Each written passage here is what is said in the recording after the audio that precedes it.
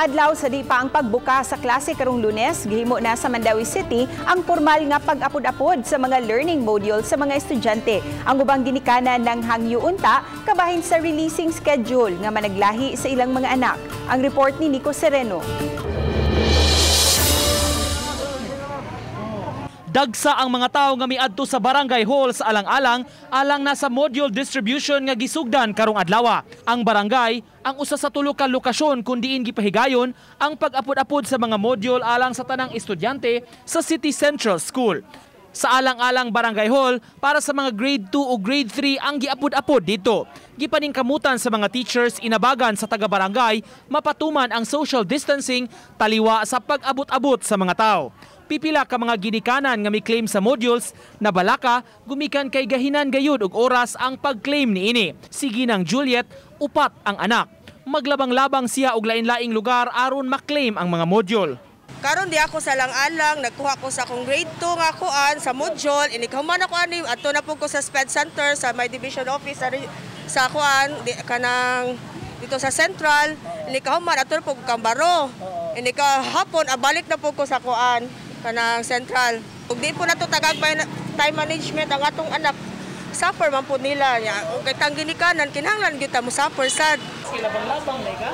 Oh, ana jud. Kay Kay magkuha man ko sila module niya. Ang uban lain man ang kanang area ba. Eh, lahin og area. Mo nang ighuman ako ari, balhin ko tus Kambaro. Pasensya lang gid intawon og gamay mga ginikanan nga naingon ani kay Pam, dili raman sa kami na ingon ani sila sad apila sa jud muna magsinabtanay lang yun para sa kaayuhan sa mga bata. Usasab sa lokasyon sa distribution ang Kambaro Barangay Hall nga gidagsa sa mga ginikanan. Lakip sa giapod-apod dito ang mga learning kits alang sa mga kindergarten students nga gibutang og bag ug kumpleto sa mga school supplies.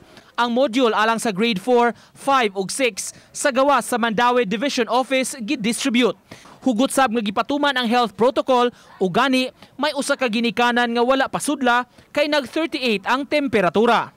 New normal na kung makonsidera kining pamaagi labi na kining distribution sa mga learning modules alang sa mga estudyante. Panawagan lang karon sa mga magtutudlo kooperasyon sa tanan labi na gyud sa mga ginikanan aron matunhay ang mga buluhaton nining pagbukas na unya sa bag-ong school year pang duha ka semana sa module ang giapod-apod samtang wala pay campus ang eskwelahan kay gigamit pa isip isolation facility sa COVID-19.